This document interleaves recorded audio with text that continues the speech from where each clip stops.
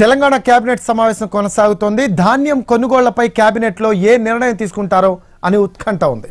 వరి కొనుగోళ్ళపై కేంద్రానికి సీఎం కేసీఆర్ పెట్టిన ఇరవై నాలుగు గంటల డెడ్ లైన్ ముగిసింది. దీంతో ఏం చేయాలన్న దానిపై చర్చించనుంది కేబినెట్. దీంతో పాటు వరి ధాన్యాన్ని ప్రభుత్వమే కొనుగోలు చేస్తోందా మిల్లర్లతో కొనిపిస్తోందా అనే అంశంపై ఓ నిర్ణయం తీసుకునే ఛాన్స్ ఉంది.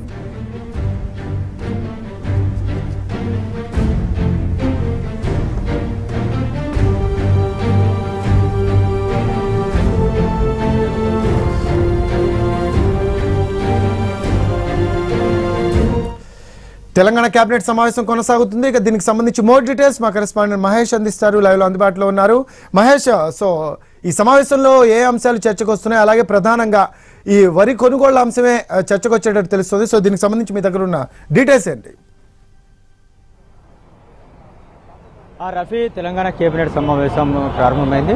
ఈ సమావేశంలో ప్రధానంగా ధాన్యం సేకరణపైనే చర్చించి ఒక నిర్ణయం తీసుకున్నటువంటి అవకాశం ఉంది. ఇప్పటికే కేసీఆర్ ఢిల్లీలో ప్రకటించడం జరిగింది. ఇరవై నాలుగు గంటల్లో కనుక ధాన్యం పైన ధాన్యం సేకరణ పైన కొనుగోళ్ళపైన కేంద్ర ప్రభుత్వం కనుక స్పష్టమైనటువంటి వైఖరిని ప్రకటించినట్లయితే తామే ఒక నిర్ణయం తీసుకుంటామని చెప్పి ప్ర- చెప్పినటువంటి నేపథ్యంలో దానిపైన ఆ, ఈరోజు సీఎం నిర్ణయం తీసుకున్నటువంటి అవకాశం ఉంది. కేబినెట్లో దానికి సంబంధించినటువంటి చర్చ జరుగుతుంది. ఏదైతే తెలంగాణకు సంబంధించినటువంటి ధాన్యం సేకరణ కొనుగోళ్ళ విషయంలో ఇటు కే- రాష్ట్రానికి అటు కేంద్ర ప్రభుత్వానికి మధ్యన ఒక వార్ నడుస్తున్నటువంటి నేపథ్యం ఏదైతే తెలంగాణలో పండేటువంటి యాసంగులు అంటే ఎండాకాలంలో పండేటువంటి పంట మొత్తం కూడా కేంద్రం కొనుగోలు చేయాలని చెప్పేసి తెలంగాణ ప్రభుత్వం డిమాండ్ చేస్తున్నట్టు చేస్తున్నటువంటి నేపథ్యం.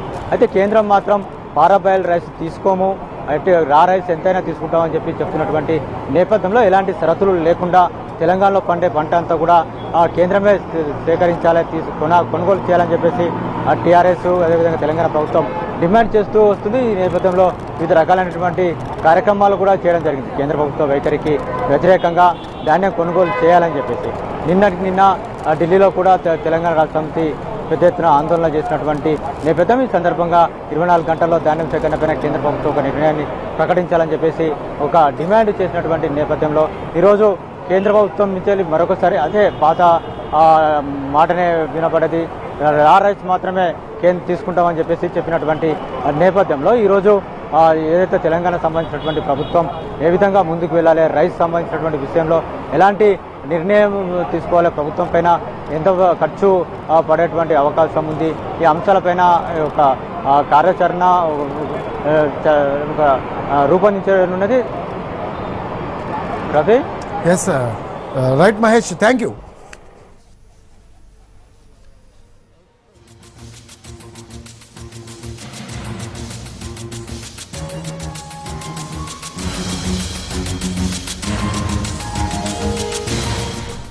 Telangana cabinet సమావేశం కొనసాగుతోంది. ధాన్యం కొనుగోళ్ళపై కేబినెట్లో ఏ నిర్ణయం తీసుకుంటారో అనే ఉత్కంఠ ఉంది.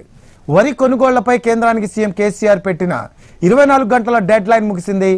దీంతో ఏం చేయాలన్న దానిపై చర్చించనుంది కేబినెట్ దీంతో వరి వరితో పాటు ధాన్యాన్ని ప్రభుత్వమే కొనుగోలు చేస్తుందా మిల్లర్లతో కొనిపిస్తోందా అనే అంశంపై ఓ నిర్ణయం తీసుకునే ఛాన్స్ ఉంది.